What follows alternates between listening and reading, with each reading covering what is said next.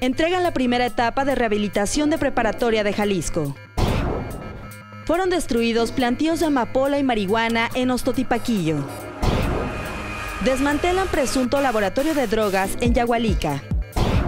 El Congreso de Jalisco declara electo a SAR Anticorrupción.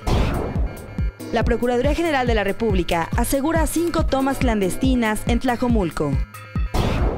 El exmédico de gimnastas de Estados Unidos fue condenado a pena de 40 a 175 años por abuso sexual.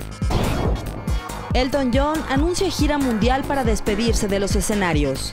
Noticieros Teleurban.